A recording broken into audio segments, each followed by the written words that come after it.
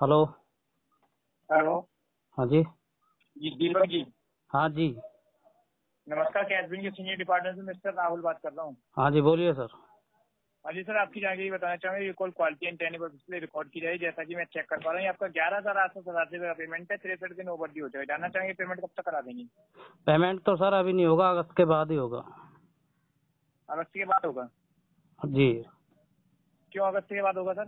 कैशबिन की गालियाँ सुन सुन के मैं परेशान हो गया इसलिए। जी? कैशबिन जिस तरह से बात करती है ना कस्टमर से तो उस तरह की बातें सुन सुन के मैं हो गया हूँ परेशान।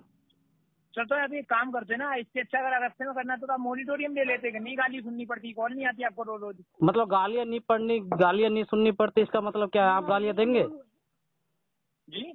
गालियाँ नहीं सुननी पड़ती का मतलब क्या है? नहीं मैं आप कह रहे हो ना कि गाली सुन सुन के जब एक चीज़ बताओ आप ठीक है नहीं नहीं नहीं नहीं उस चीज़ को छोड़िए आप पहले ये बताइए गालियाँ नहीं सुननी पड़ती इस चीज़ का मतलब क्या होता है?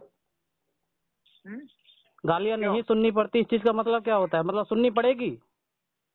मैं कब कह रहा हूँ? आप ही तो कह रहे हैं कि गालियाँ नहीं सुननी पड़ती। हो ना गालियाँ सुननी पड़ कितनी है। तो मैं कह रहा हूँ मोनिटोरियम ले लो आपको। तो मतलब गालियाँ दी वो सही है? सुननी पड़ेगी गालियाँ। दी वो सही है?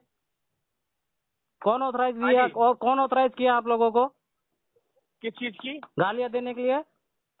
तो गाली में कब मैं आपसे कहा गाली दे देंगे हम? तो आप जिस तरह की बात कर रहे हो ना मैं आपके सवाल का जवाब दे रहा हूँ। आप ये कह रहे थे कि गालियाँ नहीं सुननी पड़ती। मतलब सुननी पड़ेगी। मैं आपका जवाब दे रहा हूँ। आप मैं आपका जवाब दे रहा हूँ। आप कह रहे हैं ना गालियाँ सुननी पड़ सुन के परेशान हो गया हूँ।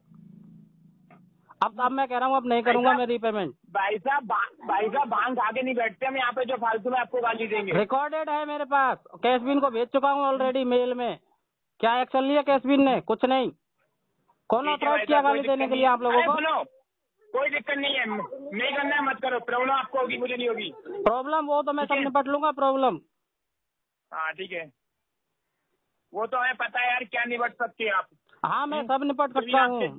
नहीं जब ये पेमेंट नहीं कर सकते आप ग्यारह हज़ार रुपये तो घंटा निपटोगे किसी से। घंटा आप आप आप आप मिस मिस लैंग्वेज में जा रहे हैं मिस्टर जो भी एक्स वाई जेड जो भी नाम है आपका।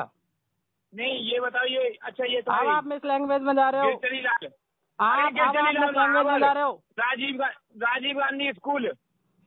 हाँ क्या करूँ उसका? एड्रेस है ना? कोई हाँ। दिक्कत नहीं है भाई साहब। हाँ क्या करना है उसका?